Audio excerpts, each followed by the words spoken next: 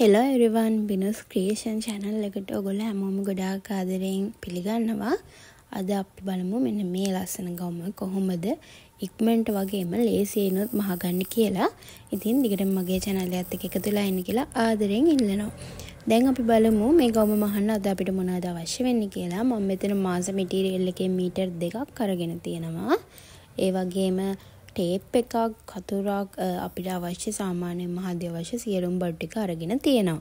මං දැන් සියලුම කොටස් කොලේ තමයි ඔයගලන්ට මුලින්ම ඇඳලා පෙන්වන්නේ. ඒ ඔයගලන්ගේ පහසුව තකා නැත්නම් ගොඩාක් රෙද්ද ඇඳාම ඔයගලන්ට පැහැදිලි මදි වෙන නිසා. ඉතින් මේ විදිහට උරහිස මිම්ම අඟල් 14ක් තියෙනවා. ඒක මම දෙකට බෙදාගෙන අඟල් 7ක් විදිහට මගේ උරහිස මෙතනදී ලකුණු කරගන්නවා. ඒ උරහිස මිම්මම මේ විදිහට පහලටත් අඟල් භාගයක් තව එකතු කරනවා අපේ උරහිස මෙහෙන් අවශ්‍ය අඟල් භාගය. එතකොට අඟල් හතා මාරක් මේ විදිහට පහළවට රැගල් උස විදිහටත් ලකුණු කර ගන්නවා. ඉතින් ඒ විදිහටම අපිට 60 කොටසේ අවශ්‍ය සම්පූර්ණ උසට අඟල් භාගයක් එකතු කරලා මේ විදිහට ඒ උසත් මම එකපාරම ලකුණු කර ගන්නවා. ඒ තමයි අපේ ඉන. ඉතින් මේ විදිහට හරස් රේඛා ඇඳ ගන්නවා. ඉන සහ පපුමින්ම ලකුණු කරන්න අවශ්‍ය වෙන හරස් මිමි දෙක. ඊළඟට මේ විදිහට පපුර රේඛාවෙත් මං උරහිස්මින්ම ලකුණු කරගන්නවා අඟල් 7. ඊළඟට තමන්ගේ පපුව වට ප්‍රමාණය ගන්න ඕනේ මගේ 34ක් තියෙනවා. ඒක හතරට බෙදලා එන උත්තරයට අඟල් භාගයක් අඟල් තුන් කාලක් හෝ අඟලක් වගේ මැහුම් වාසි අපිට එකතු කරලා තමන් කැමති ප්‍රමාණයක් එකතු කරලා මේ විදිහට ලකුණු කරගන්න පුළුවන්. ඒ වගේම ඉනත් මගේ අඟල් 30ක් තියෙනවා. මම ඒ ප්‍රමාණය මේ විදිහට අරගෙන ඒකත් හතරට බෙදලා අපි පපුවින් මේ එකතු කරමු මැහුම් වාසි ප්‍රමාණයමයි මෙතනත් එකතු කරන්නේ. ඒ ප්‍රමාණය එකතු කරලා මෙන්න මේ විදිහට ලකුණු කරගන්නවා. ඊළඟට පපුව සහ ඉන රේඛා යා කරන්න තියෙන මම මේ විදිහට පොඩ්ඩක් හැඩ කරලා තමයි අද ලකුණු කරගන්නේ. ඒ වගේම මේ රැගල් රේඛාවත් මේ විදිහට උඩට ඇඳ ගන්නවා. මෙන්න මෙතනින් අඟල් තුන් කාලක ප්‍රමාණයක් තියලා අත් කට ඇඳ ගන්නවා. මේ තියෙන අපේ ඇඳගත්ත අත් කට මේ සාමාන්‍ය අත් කට. ඒ වගේම ඉන ළඟිනොත් මෙන්න මේ විදිහට අඟල් භාගයක් මම හැඩ කර ගන්නවා. දැන් මම ඔයගලන්ට කියලා දෙන්නම් කර පල්ල කොච්චරක් ලකුණු කරනවද කියලා අඟල් 3ක් 3මාරක් වගේ ප්‍රමාණයක් ලකුණු කරගන්න. ඊළඟට කර කැඹුර මම අඟල් 7ක්ම ලකුණු කරගන්නවා මෙන්න මේ විදිහට. මුලින්ම මේ විදිහ ඇද රේඛාවක් ඇඳලා ඊට පස්සේ මට අවශ්‍ය හැඩය ඇඳ ගන්න. ඔයගලන්ට වී කරක් උනත් පාවිච්චි කරන්න පුළුවන්. මම මෙතන කර පොඩ්ඩක් කර්ව් හැඩයක් එන තමයි ලකුණු කරගන්නේ. ඊළඟට මම මෙතනදී අපේ උරහිස පහත් කරගන්නවා අඟල් භාගයක් ඒ වගේම අඟල් භාගයක් තවත් උරහිසෙන් අඩු කරනවා මොකද අද අත් නැති ඇඳුමක් නිසා මට හිතෙනවා උරහිස කොනටම වෙන්නේ නැතුව තිබ්බොත් හොඳයි කියලා. ඉතින් ওই විදිහට තමයි ඒ කොටස ඇඳගන්න. ඉතින් හරිම ලේසි මේක. දැන් මම මේ ඇඳගත්ත කොටස කපා ගන්නවා. මේක ඔයගලන්ට මේ වීඩියෝ එක බලාගෙන එකපාර රෙද්දෙමුණත් කරන්න පුළුවන්. කොළවල අඳින්න අවශ්‍ය වෙන්නේ නැහැ. මම printed material එකක ඇඳහම ඔයගලන්ට පැහැදිලි මදි නිසා තමයි එකින් එකට මේ විදිහට කොළවල ඇඳලා පෙන්වන්නේ. දැන් මම half flared එක කපන ආකාරය තමයි මේ පෙන්වන්න යන්නේ. මේ තියෙන අපේ රෙද්ද පළල පැත්තේ කියන්නේ අඟල් 60. මේ තියෙන රෙද්දේ උස පැත්ත. ඉතින් මේ විදිහට උස පැත්තට මුලින්ම අපි රෙද්ද දෙකට නවා ගන්න අවශ්‍ය වෙනවා ඔයගොල්ලෝ ළඟ තියෙන රෙද්ද. ඊළඟට මෙන්න මේ විදිහට අර 60 පළල රෙද්ද මෙන්න මේ විදිහට නවා ගන්න ඕනේ. මං හිතනවා ගොඩාක් පැහැදිලි කියලා ආයේ ෆ්ලෙයාර්ඩ් ඔයගලන්ට අමාරු වෙන එකක් නැහැ. ඉතින් ඒකම දැන් මෙන්න මේ විදිහට මේ මුල්ලේ ඉඳන් ඕගලන්ගේ මුලින්ම ඉන තමයි අපිට කපා ගන්න අවශ්‍ය වෙන්නේ. අපි මේ ඉන වට තමයි මේ ලකුණු කරගන්න. ඉතින් මේ ඉන වට අඟල් 3ක් විදිහට මම අරන් තියෙනවා. ඕගොල්ලෝ කරන්න ඕන ඕගලන්ගේ ඉන මිම්ම තුනට බෙදලා එන ප්‍රමාණයෙන් අඟලක් හෝ අඟල් 3 කාලක් අඩුවෙන් තමයි මේ විදිහට ලකුණු කරන්නේ. ඊට පස්සේ මම මෙන්න මේ කර්ව් හැඩය මැනලා බලනවා අපි 60 ඉන ලකුණු කර ප්‍රමාණයම තියෙනවද කියලා. ඉතින් ඒගොල්ලෝ හරියට ලකුණු කරොත් ඒ ප්‍රමාණයම එනවා. ඊළඟට මම සාය කොටසේ උස තමයි ලකුණු කරන්නේ. අපි දුමු අපිට උස අඟල් 20ක් අවශ්‍යයි කියලා. එතකොට ඒ අඟල් 20ට අපි ඉන කපන්න අඟල් 9ක් තිබ්බනේ මම. එතකොට අඟල් 29ක් අපිට අවශ්‍ය වෙනවා මෙන්න මේ උඩ මුල්ලේ ඉඳලා. අඟල් විසි නමයක් මම මෙතන ඔගලන්ට කොලේ පොඩියට කපල පෙන්න්න නිසයි මෙහෙම කරන්නේ ඉතින් මෙන්න මේ විදිහට මුල්ලට තියල ටේප් එකේ මුල අඟල් විසි නමය නම් අවශ්‍ය ඒ ප්‍රමාණයට මේ විදිහට ඇඳගෙන යන්න ඕනේ. ඉතින් ওই විදිහට තමයි ෆ්ලයාර්ඩ් සාය කපාගන්නේ හරිම ලේසි මීට කලින් ගොඩාක් වීඩියෝස් කරලා තියෙනවා. මම ගොඩාක් පැහැදිලි වෙන්න තමයි ඔයගලන්ට මේ විදිහට කොලෙත් කරලා පෙන්වුවේ නැත්නම් කමෙන්ට්ස් එනවා රෙද්දි කරද්දි පැහැදිලි නෑ කියලා. ඉතින් ඒක නිසා තමයි මේ විදිහට ඕගලන්ගේ ලේසියට මම කොලේක කරලා පෙන්වන්නේ. ඉතින් මේ විදිහට තමයි සාය කපා ගත්තාම තියෙන්නේ. මොකද අපි හාෆ් ලෑඩ්ඩයක් කපන්නේ. හාෆ් ලෑඩ්ඩයක් කියන්නේ අංශක 180ක ප්‍රමාණයක්. ඉතින් මේ විදිහට තමයි සාය මැහෙද්දි මැහෙන්නේ. ඉතින් මං හිතනවා ඔයගලන්ට ඒක ගොඩාක් පැහැදිලි වෙන්නේ නැති කියලා. ඉතින් මේ විදිහට රෙදි කොටසෙම ඔයගලන්ට එකපාර ෆ්ලෑඩ් එක කපා ගන්න පුළුවන්. එහෙනම් අපි බලමු කොහොමද ඉතිරි කොටස් ටික කපා ගන්න කියලා. දැන් මම අපේ කර සඳහා අල්ලන පටි කොටස තමයි කපා ගන්න යන්නේ. ඉතින් මම මුලින්ම මේ විදිහට අපි ගත්ත බ්ලොක් එක අරගෙන ඒකේ කර ප්‍රමාණය මැන ගන්න ඕගොල්ලෝ ඇඳපු කර හැඩය අනුව කර ප්‍රමාණය මැනගන්න. මට මෙතන අඟල් අටක් එනවා අඟල් අටා මාරක් එනවා. මැහුම් වාසි භාගය උරහිස මිම්මේ මැහුම් වාසිත් අඩු කළා. අඟල් අටක් එනවා. ඉතින් ඊට පස්සේ මෙන්න මේ විදිහට රෙදි කෑල්ලක් ගන්න අවශ්‍ය වෙනවා. මම මෙතන අරන් තියෙන රෙදි කෑල්ල අඟල් 20ක් විතර දිග. ඒ වගේම අඟල් 16ක් වගේ දෙගුණයක් තියෙනවා මෙතන ඊට පස්සේ මේ විදිහට දෙකට නවාගෙන තියෙනවා ඒ රෙදි කොටස. ඉතින් මේ විදිහට දෙකට නවාගත කොටස නැවතත් උස අතට ওই විදිහට තමයි මම දෙකට නවා ගන්නෙ රෙදි කොටස. ඉතින් ඔයගොල්ලෝ මේ විදිහට කරගන්න.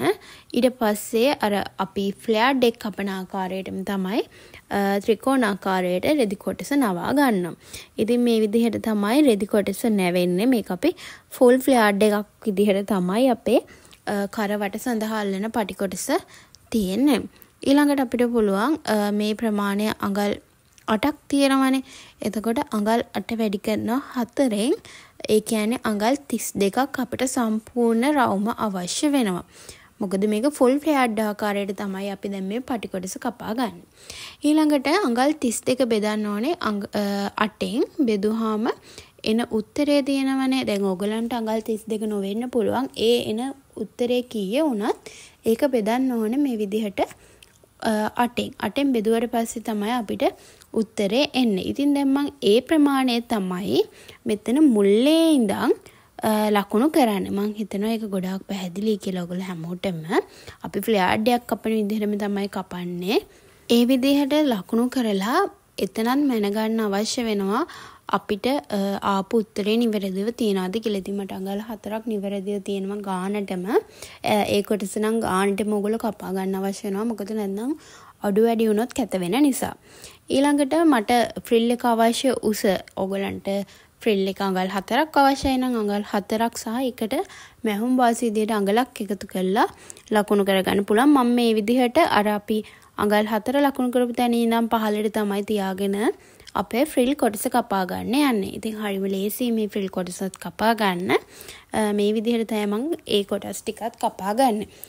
ඉතින් මං කවන්නේ මේක ෆුල් ෆ්ලෑඩ් ආකාරයට කපා ගන්න කියලා. ඉතින් අපි හාෆ් ෆ්ලෑඩ් එක වගේ නෙමෙයි ඒකේ අංශක 180යි. හැබැයි මේක කපාගෙන ඉවරනහම දිගහැරියම අපිට බලා ගන්න පුළුවන් අංශක 360ක ප්‍රමාණයක් තියෙනවා. ඉතින් මේ තියෙන අපි කපාගත්ත ෆ්‍රිල් එක අපේ කර වටට අල්ලගන්න මේ විදිහට නැම්මට තමයි ඔක්කොම කපාගෙන තියෙන්නේ කිසිම ඕපන් එකක් නැහැ මේකේ. ඉතින් මේ විදිහට අපි බලමු කොහොමද අපේ ඇඳුමට මේ කොටස අල්ලගන්න කියලා. ඉතින් මේ විදිහට තමයි එක පැත්තක් ඇල්ලුනහම ඉන්නේ. මම ඕගලන්ට මහද්දි පැහැදිලි කරන්න කොහොමද මේක මේ විදිහට ලස්සනටම කරගන්නේ කියලා. ඒකම මම පොඩි වෙනසක් කරනවා මේකට. මෙන්න මේ විදිහට තියාගෙන මෙන්න මේ ඒ කියන්නේ අපේ පපුවේ හරි මැදට එන තැනින් පොඩි හැඩ කිරීමකට මම මේක මෙන්න මේ විදිහට දෙකට නවල කපා ගන්නවා. ඉතින් ඕගලන්ටත් ඒ විදිහට කැමති නම් කරන්න නැත්තම් නිකම්ම විදිහට මහගන්න පුළුවන්. හරි දැන් අපි මේ දෙන කපාගත්ත සියලුම කොටස් මම මුලින්ම සාය කොටස් සහ හැට්ට කොටස් මේ විදිහට දෙකක් කපාගෙන දෙනවා මොකද ලයිනින් කරන්නත් ඕනේ. ඒ කියන්නේ සම්පූර්ණයෙන් හැට්ට කොටස් හතරක් අවශ්‍ය වෙනවා. මේ ඔක්කොම කොටස් එක්ක අපි බලමු කොහොමද මේ ඇඳුම එහෙනම් ලස්සන සහ ලේසියෙන්ම මහගන්න කියලා. දිගටම වීඩියෝ එකත් එක්ක එකතු වෙලා ඉන්න. දැන් මම මුලින්ම මේ විදිහට හැට්ට කොටස් හතර අරගෙන තියෙනවා. අපි හැටි කොටස් හතරක් කපා ගත්තා. මොකද ලයිනින් කරන්නෙත් මම මේ රෙද්දෙන්ම නිසා. ඉතින් මේ විදිහට කොටස් දෙකක් මුලින්ම තියාගෙන ඒ කියන්නේ හොඳ පිටට හොඳ පිට තියලා මේ විදිහට උරහිස අඟල් භාගයකට මහගෙන යන්න අවශ්‍ය වෙනවා. ඉතින් එක පැත්තක් මහලා අවසానයි. ඒ විදිහටම අනිත් උරහිසත් මූට්ටු කරගන්නවා අඟල් භාගයේ මැවුම් වාසියට. ඉතින් මේ විදිහට තමයි මේ කොටස මුට්ටු කරගත්තාම තියෙන්නේ. ඒ ආකාරයට මම අනිත් කොටස් දෙකත් උරහිස මුට්ටු කරගන්නවා දෙපැත්තෙම. මේ විදිහට තමයි අපේ උරහිස් මූට්ටුව එතකොට සිද්ධ කරන්නේ. ඉතින් මම මේ විදිහට මූට්ටු කරගත්ත කොටසේ තියෙන්නේ දැන් මම මේ විදිහට අපේ කඩ සඳහා අල්ලන කොටස අරගෙන වාටියේ කොටස මහගන්න තමයි ලෑස්ති වෙන්නේ. ඉතින් මම මුලින්ම එකපාරක් නවල මහගෙන නැවත වරක් ආපසු නවල මහගන්නවා. ඒ කියන්නේ දෙපාරකට තමයි මම වාටියෙන් මේ විදිහට මහගන්නේ. ඕගලන්ට ඕලොක් කරලා වුණත් එක පාරක් නාලා මහගන්න පුළුවන් තමන්ට කැමති ලේසි ආකාරයකට කරගන්න. ඉතින් මේ විදිහට මහලා අවසන් කරගෙන තියෙනවා දැන් අපේ 60 කොටසේ අල්ලන පටි කොටස.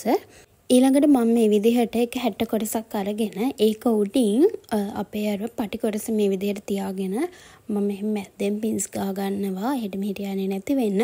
ඉතින් ඕගොල්ලෝ හරියටම මැනලා කැපුවා ඒ කොටස් දෙකේම වට ප්‍රමාණය සමානව තියෙනවා කිසිම අඩු වැඩි වීමකින් තොරව. ඉතින් ওই විදිහට තියෙන කොටස මෙන්න මේ ආකාරයට අපි දැන් කොටස් දෙක එකට තියලා පොඩි මූට්ටුවක් දාගන්න තමයි යන්නේ. අපේ පහසුව සඳහා තමයි මේ විදිහට අඟල් කාලක් විතර ඒ කියන්නේ අපේ කොනටම වගේ වෙන්න තමයි මේ කොටස මහගෙන යන්න ඕනේ. අඟල් භාගයක් නෙමේ මහන්න අවශ්‍ය වෙන්නේ. ඉතින් මේ විදිහට කොනෙන්ම අඟල් කාලක වගේ ඉඩ ප්‍රමාණයක් තියලා අපිට මේක මහගන්න පුළුවන්. මේ තියෙන්නේ විදිහට මහගත්ත කොටස. දැන් ඊළඟට මම අනිත් 60 කොටසත් ගන්නවා. අපි මේ හැම එකම උරයිස් මුට්ටු කරලා තියෙන්නේ. ඉතින් මේ විදිහට මේ 60 කොටසත් අරගෙන ඒකේ හොඳ පිට මෙන්න මේ විදිහට ෆ්‍රිල් එක උඩට වෙන්න තියා ගන්නවා. ඉතින් මෙන්න මේ විදිහට ෆ්‍රිල් එක උඩින්ම තියාගෙන ඒකත් අපි මේකට මුට්ටු කරන්න තමයි යන්නේ සම්බන්ධ කරගන්න. දැන් මේ විදිහට කරවට මහද්දී අඟල් භාගයේ වාසියට දැන් අපිට මහගන්න පුළුවන්. ඉස්සල වගේ අඟල් කාලට මහන්න අවශ්‍ය වෙන්නේ නැහැ. ඉතින් මේ විදිහට වටේටම අඟල් භාගයේ මෑම් වාසියට සම්පූර්ණයෙන්ම අපේ කරවට මහලා ඉවර කරගන්න පුළුවන්. ඉතින් අද අපි මේ මහන එකෙන් අපිට වෙනම කරට පයිපෙන් පටි අල්ලන්න අවශ්‍ය වෙන්නේ නැහැ. ඒ වගේ මූර හිස් මූට්ටුවක් පේන්නේ නැහැ. ඉතින් ඒ විදිහට තමයි අද අපි මේක මහගන්නේ. ඉතින් දැන් මේ මහගත්තට පස්සේ මම මේ විදිහට කර වටටම සම්පූර්ණයෙන්ම කට් මාක් දාගෙන යනවා. මොකද අපිට කර කොටස අනිත් පැත්ත හරවන්න අවශ්‍ය වෙන නිසා. දැන් මේ විදිහට තමයි අපි මේක හොඳ පිට හරව ගත්තාම අපේ ඇඳුම තියෙන්නේ. ඉතින් ෆ්‍රිල් එක මේ විදිහට උඩින් යනවා. මම දැන් ෆ්‍රිල් එක මේ රෙදි කොටස් දෙකටම සම්බන්ධ වෙන්න කර අයිනෙන් පොඩි මහම් පාරක් දාන්න තමයි ලෑස්ති වෙන්නේ. මොකද එතකොට මේක පොඩක් ශක්තිමත්ව තියෙනවා නැත්නම් අපේ ෆ්‍රිල් එක කොටස පෙරලෙන්න බලනවා. ඉතින් ඒක නිසා මේ විදිහට මම සම්පූර්ණයෙන්ම කර වටටම අඟල් කාලක් වගේ වෙන්න තියලා සම්පූර්ණයෙන්ම වටටම ෆ්‍රිල් එක අපේ හැට්ට කොටසට මූට්ටු වෙන්න මේ විදියට කර වටේටම මහගෙන යනවා. ඒ වගේ මේක ගොඩාක් හිමින් මහගන්න ඕන මෙතන වීඩියෝ එක ස්පීඩ් යන්නේ. ඉතින් මේ විදිහට තමයි ඒ කොටස මහලා ඉවරුනහම තියෙන මං හිතනවා ඔයගලන්ට ඒක පැහැදිලිව පේනවා කියලා. ඊළඟට දැන් මම මේ විදිහට 60 කොටස් දෙකේ ඒ කියන්නේ අපේ ලයිනින් කොටස හොඳ පිට කොටස් තියෙනවානේ. ඒ දෙක මෙන්න මේ විදිහට එක පිට එක දැන් හිටිනවා කොහොමත්. මම එහෙම යන්නේ නැතු වෙන මගේ පහසුව තකා මම මේ විදිහට මැස්මක් දාගන්නවා හැට්ට කොටස්වල වටටම ඒ කියන්නේ එක පිට එක තියමින් මේ විදිහට වටේටම මහගෙන යනවා එතකොට මට ගොඩාක් පහසු වෙන නිසා. මේ විදිහට ඉදිරිපස සහ පිටුපස කොටස් දෙකේම සම්පූර්ණයම වටටම මහගන්න අවශ්‍ය වෙනවා. හරි ඊළඟට දැන් අපි බලමු කොහොමද අත් කට මහගන්න කියලා මම මේ විදිහට රෙදිකුටි සරගෙන ඇතුල් පැත්තට දෙපාරක් නවලා මෙන්න මේ විදිහට අඟල් කාල බැගින් දෙකක් වෙන්න නවලිවල මහගෙන යනවා. අවශ්‍යයි නම් මේකට පයිපින් කොට සල්ලන්න පුළුවන්. හැබැයි මෙතන රෙද්ද ඩබල් ගිහින් තියෙන නිසා මම මේ විදිහට මේ රෙදි කොටසම ඇතුළට නවලා කීලිකට මහ ගන්නවා. එතකොට ගාන්ට ලස්සනටම තියෙන ප්‍රශ්නයක් වෙන්නේ නැහැ. හැබැයි ඔයගොල්ලෝ ව්‍යාපාරයක් විදිහට කරනවා නම් මෙතනටත් පයිපින් කොටස් අල්ලගන්න. එතකොට ගොඩාක් ලස්සනට නීට් එකට මහ ගන්න පුළුවන්. ඉතින් මේ විදිහට මම කීලි කටවල් දෙකම සම්පූර්ණයෙන්ම මහ ගන්නවා. ඉතින් මේ විදිහට තමයි දැන් අපේ හැට්ට කොටස සම්පූර්ණයෙන්ම මහගෙන තියෙන්නේ. අපි බලමු මේකට සාය කොටස් සම්බන්ධ කරලා කොහොමද මේ ඇඳුම අවසන් කරගන්න කියලා. එහෙනම් මේ විදිහට තියෙන කොටසට බලමු කොහොම සාය කොටස් අල්ලන්නේ කියලා. මම දැන් මේ විදිහට හැට්ට කොටසේ හොඳ පිට හිටින්න ඒ උඩින් අපේ සාය කොටසේ ඉනත් මේ විදිහට තියලා අඟල් භාගයේ මැවුම් වාසයට සම්පූර්ණයෙන්ම මහගෙන යනවා. ඉතින් මේ මුලින්ම ඉදිරිපසට තමයි අපේ සාය කොටස මෝට්ටු කරන්නේ. ඊළඟට වෙනම අපි පිටුපසත් මෝට්ටු කරගමු. ඉතින් මේ විදිහට අඟල් භාගයේ මැවුම් වාසයට මැවුවාම ප්‍රමාණවත් මේ සාය කොටස. ඉතින් දැන් අපි ඒ විදිහටම අපේ පිටුපස හැට්ට කොටසටත් අපේ සාය කොටස මුට්ටු කරගන්න. ඒකත් ඉදිරිපස මෙන්ම අඟල් භාගයෙන් මැවුම් වාසියට සම්පූර්ණයෙන්ම මහගෙන යන්න. ඒ විදිය වගේම මහල අවසානයේ මේ කොටස් දෙකම ඕලොක් කරගන්න ඉතිරි කොටස් මහන්න කලින්. ඊට පස්සේ අපි දැන් මේ විදිහට ඕලොක් කරගෙන ඇවිත් තියෙනවා. දැන් මම සයිඩ් මූට්ටුව තමයි කරගන්න හදන්නේ. ඉතින් මේ විදිහට මුලින්ම එක පැත්තක් එක පිට එක තියෙන්නේ අපේ හැට් මුළු සම්පූර්ණ ගවමෙම සයිඩ් මෝට්ටු කරගන්න ඉතින් මම මෙතන අඟල් තුන් කාලක විතර මැහම් වාස ප්‍රමාණයක් තිබ්බ නිසා මං ඒ ප්‍රමාණය මහගෙන යනවා ඔගොල්ලෝ අඟල් භාගයක්ද අඟලක්ද තිබ්බේ ඒ ප්‍රමාණය මහගෙන යන්න. ඉතින් මේ විදිහට එක පැත්තක් විතරයි මම මහගන්නේ අනිත් පැත්තට මුලින්ම ශිප එකක් අල්ලගන්න අවශ්‍ය වෙන නිසා. ඉතින් මේ විදිහට මහලා අවසానයි. දැන් මම මේ කොටස් ඔක්කොම ඕලොක් කරගන්න තමයි ලෑස්ති වෙන්නේ. මේ විදිහට normal foot එක මාරු කළා මම invisible shipper foot එක දාගෙන තියෙනවා. දැන් මේ විදිහට අපේ ඇඳුමේ එක පළුවක් අරගෙන මුලින්ම ඒ පැත්තට ශිප එක මේ විදිහට සම්බන්ධ කරගන්න තමයි ලෑස්ති වෙන්නේ. ඊට පස්සේ තමයි අනිත් පැත්තට සම්බන්ධ කරගන්න වෙන්නේ. අද අපි මේ ගවමට සයිඩ් ශිප එකක් තමයි පාවිච්චි කරන්නේ. කියන්නේ සයිඩ් එකට තමයි ශිප එක දාන්නේ බැක් එකට නෙමේ. ඉතින් ඕගලන්ට අවශ්‍යයි නම් බැක් එකට උනත් දාගන්න පුළුවන්. එතකොට පිටිපැස පළුවෙන් ඕපන් එකක් තියන්න අවශ්‍ය වෙනවා. ඉතින් මම මේ විදිහට දැන් අද ලේසියෙන්ම මහගන්න තමයි ඔයගලන්ට කියලා දෙන්නේ සයිඩ් එකට ශිප එක අල්ලන විදිහ. ඉතින් එක පැත්තකට අල්ලගෙන අවසానයි අනිත් පැත්තටත් ඒ විදිහටම අපි අඟල් තුන් කාලක් මැහම්වාච තිබ්බා ඒ ප්‍රමාණය තියලා තමයි අනිවාර්යෙන් අල්ලගන්න ඕනේ.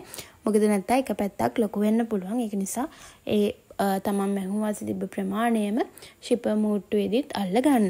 ඊළඟට මම මේ විදිහට ශිප එක මහලා ඉවර වුණ තැන ඉඳන් මේ විදිහට කනපිට උඩ පැත්තට අරගෙන මහගෙන යන තමයි දැනේ. ඒ කියන්නේ ශිප එක ඉවර කරපු තැනින්ම ගාන්ඩ පටන් ගන්න ශිප එකේ කෑල්ල චුටක් කෙට කරලා මේ විදිහට වාටිය දක්වා සම්පූර්ණයෙන් අපිට අපි තිබ්බ අඟල් තුන් කාලේ ප්‍රමාණය සම්පූර්ණයෙන්ම මහගෙන යන්න. ඉතින් ඒ විදිහට මහල ඉවර කරගත්තා. දැන් මම මෙතන ශිප එකේ වැඩිපුර තියෙන කොටස ගවුමේ ඇතුළට නවල තමයි එතනත් චුටි කට් කට් එකක් දාගන්නේ මැස්මක් දාගන්නේ.